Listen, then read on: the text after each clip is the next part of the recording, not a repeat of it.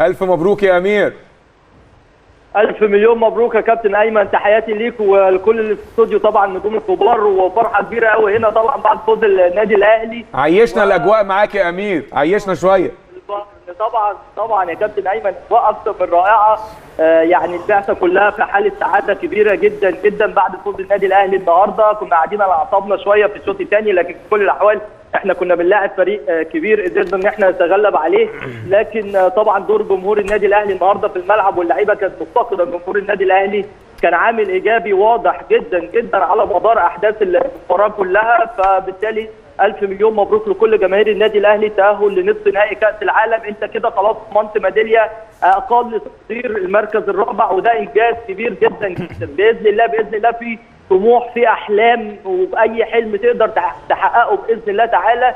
آه لكن كله في وقته وكله بالمجهود والعرق والتعب. وعندنا رجالة أبطال إن شاء الله بإذن الله يشرفوا كمان في مباراة البايرن. وخليني أقول لك يعني إحنا دلوقتي ابتدينا بقى نتكلم على مباراة البايرن يا كابتن أيمن. لأن إحنا كان يعني حلم بالنسبة لكل آه، جماهير النادي الأهلي وبالنسبة كمان لأفراد البعثة هنا إن إحنا نعدي العقبة دي عشان نقابل بايرن. صحيح. في نهائي كأس العالم. يمكن الاهلي الأهلي على مدار المشاركات اللي فاتت كلها ما قابلش فريق من أوروبا. في الخمس مشاركات اللي قبل كده. المشاركة رقم ستة أخيرا اتيحت الفرصة للنادي الأهلي واللاعبين إن هم يلعبوا فريق من أوروبا. ومش أي فريق المرة دي فريق البايرن. فأكيد الحديث كله هيكون عن هذه المباراة اللعيبة بإذن الله يقدروا يعملوا حاجة لكن إحنا عايزين نعيش الفرحة النهارده فرحة الفوز والتاهل لدور نصف النهائي يا كابتن أيمن وألف مليون مبروك لكل الأهلاوية في كل مكان. زي ما أنت بتنقل لي الأجواء عندك هنا عندنا مصر كلها فرحانة كل الأهلاوية فرحانين. في كل فروع النادي الأهلي فرحة كبيرة جدا جدا جدا. بالتأهل فرحانة. جمهور الجمهور بعد الماتش عامل إيه عندك؟ لا لا الجمهور هنا جمهور غايه في في السعاده في الحقيقة دورهم كان واضح جدا طول ال- الماتش. الناس بعد ال- المباراة حيت اللاعبين بشكل كبير قوي قوي نادت على اللعيبة كلها واللاعبين في الحقيقة راحوا وحيوا ال- الجماهير وحتى آه، بعض اللاعبين يعني آه، التيشيرتات بتاعتهم أهدوها للجماهير اللي طلبوها في المدرجات. جمهور النادي الأهلي هنا كان وحشه قوي قوي يشوف الأهلي من الملعب وكان وحشه قوي قوي إن هو يعيش الانتصارات مع آه، لاعبي النادي الأهلي من داخل أرضية الملعب زي ما كان لعيبه الاهلي الأهلي كمان كانوا مفتقدين تواجد الجماهير. جمهور النهارده في الحقيقة كان حاجة أكثر من رائعة وايه كان ليه دور مؤثر جدا جدا. بإذن الله كمان الجمهور هيكون متواجد في مباراة ال- البايرن. جمهور الأهلي أكيد هيكون أكثر من جماهير البايرن لأن هنا في الحقيقة الأهلاوية يعني مش قادر أقول لك عدد كبير قوي يا كابتن أيمن. اللي حضروا النهارده في قدهم بتاع 10 مرات بدون مبالغة. كان نفسهم يحضروا وده من خلال تواصلهم معانا ومع أفراد البعثه على مدار الأيام اللي فاتت كلها. طبعا طبقا للإجراءات الطبية والفقاعة اللي إحنا كنا مت... أو اللي إحنا لسه متواجدين فيها لحد دلوقتي. آه، ما كانوش عارفين يزوروا البعثه ولا اللاعبين.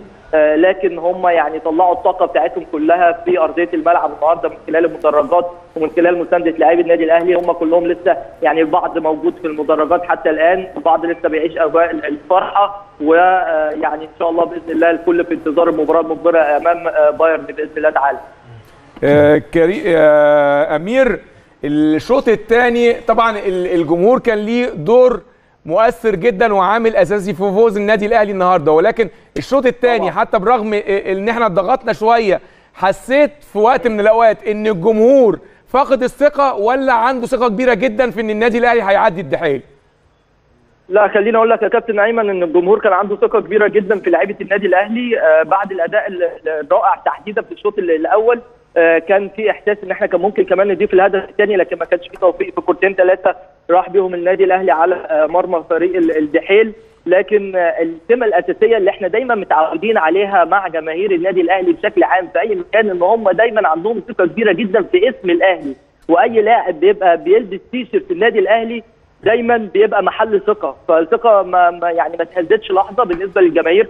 طبعا في بعض القلق وبعض ال- ال- ال- العصبية وكمان ده, ده أمر طبيعي دي كرة قدم وكان وارد إن أنت يدخل فيك هدف وهي دي الكورة. لكن في كل الأحوال كنا واثقين الثقة الكاملة في الفوز. خليني أقول لك يا كابتن ايمن كمان إن اللي ساعد على فوز النادي الأهلي النهارده ودي نقطة غاية في الأهمية إن الأهلي كبعثة بالكامل وكجهاز فني ولاعبين ما حدش كان بيتكلم في مباراة البايرن. ودي نقطة كانت مهمة قوي لأن إحنا حصلت كذا مرة قبل كده كان بيبقى عندنا فرصة إن إحنا نلاعب الفريق الأوروبي اللي تأهل لنصف أو اللي موجود في نصف نهائي كأس يبقى تركيز في إن إحنا خلاص هنكسب وهنروح ونكسب ونلعب الفريق ده وما بنلعبش في الآخر. المرة دي الدرس تم استيعابه بشكل جيد جدا. كان الحديث كله كله عن مباراة الدحيل إزاي إن إحنا نعدي العقبه دي إزاي إن إحنا نكسب آه، الدحيل ومن ثم يتم التفكير بشكل كامل في مباراة ال- البايرن وفعلا ده اللي نجحنا فيه وده اللي حصل واللي نجح فيه في الحقيقة الجهاز الفني واللاعبين وبالتحديد كمان آه، آه، كل الموجودين هنا في البعثة. والكابتن محمود الخطيب كمان كان ليه دور كبير جدا بصراحة آه، مع ال- البعثة بالكامل ومع اللاعبين والجهاز الفني في تهيئة الأجواء المناسبة علشان النادي الأهلي يقدر يتخطى هذه العقبه ويقابل فريق ال- البايرن في مباراة هتكون مباراة آه، للتاريخ بالنسبة للنادي الأهلي وجماهيره. وباذن الله هناخدها خطوة خطوة وبإذن الله النادي الأهلي يقدر آه، يعني يشرف الكرة المصرية في مباراة البايرن آه، إن شاء الله بإذن الله تعالى. بإذن الله. كلمني عن فرحة اللاعبين والجهاز الفني بمجرد انتهاء المباراة. آه فرحة طبعا لا توصف في الجهاز الفني واللاعبين. آه، كانوا آه، في غايه في ال- في السعادة بعد ال- الفوز وبعد إطلاق الحكم. آه، صفاره ال- النهاية كان يعني حلم بالنسبة لجماهير النادي الأهلي وبالنسبة للاعبين والجهاز الفني إن هم آه، يتأهلوا لدور نصف النهائي. وكنا في انتظار الصافره ست دقائق كانوا كتير قوي بصراحة كانوا صعبين علينا آه، شوية آه، كأفراد آه، البعثة اللي كنا متابعين ال- المباراة. الجهاز الفني واللاعبين طبعا كان واقف آه، على خط ال- ال- الملعب وكانوا في انتظار وترقب من آه، صافره حكم المباراة مع مع وضع آه، آمال كبيرة في اللاعبين على إنهم كانوا يجيبوا الهدف الثاني لكن الأهم في مثل هذه المباريات يا كابتن أيمن طبعا وأنت عارف إن إحنا نكسب ونتأهل. دي مباريات كاس يعني اللي بيخسر اللي بيخسر بيخرج. فأنت عايز تكسب حتى لو بنص جول يعني الحمد لله الأهلي ربنا كرمه الحمد لله الحمد لله. وتأهل. للمباراة المقبلة وإن شاء الله بإذن الله هنبتدي بقى نفكر واحدة واحدة كده أو الفريق طبعا والجهاز الفني آه، يفكروا آه، بداية من الغد. في مباراة ال- البايرن آه، هيبقى في تدريبات محاضرات مكثفة مستر بيتسو موسيماني آه، حديث مع اللاعبين هيتم دراسة فريق البايرن اللي مش محتاج دراسة طبعا بالمناسبة لكن دراسة التكتيكيه الخاصة بالمدير الفني ده أمر أمر ثاني يعني المدير الفني هو ادرى بكل الأمور إزاي هيتعامل استراتيجيته هتختلف في مباراة البايرن أكيد. ولا لأ أعتقد بنسبة كبيرة ده هيحصل أنت بتقابل أفضل طبعا. فريق في العالم عنده أحسن لعيب في العالم روبرت ليفاندوسكي عنده عدد كبير جدا من اللاعبين المتواجدين على أرضية الملعب كيميتش على جوريتسكا. لا فرقة تقيلة فرقة تقيلة أبطال أوروبا يعني. آه طبعا.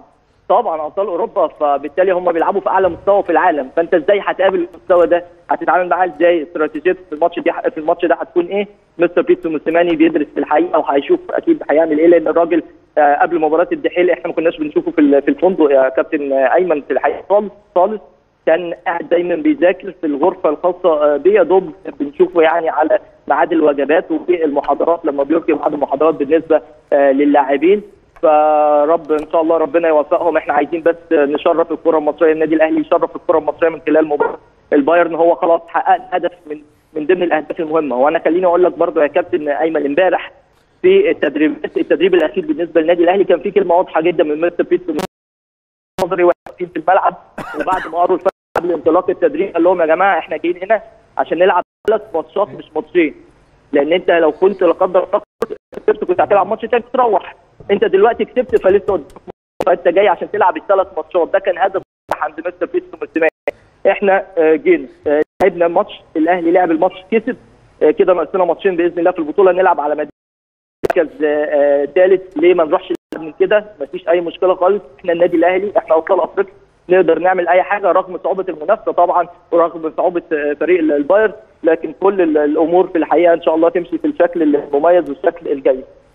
شكرا جزيلا يا أمير وأكيد هنتابع معاك وعشان توافينا بكل ما هو جديد.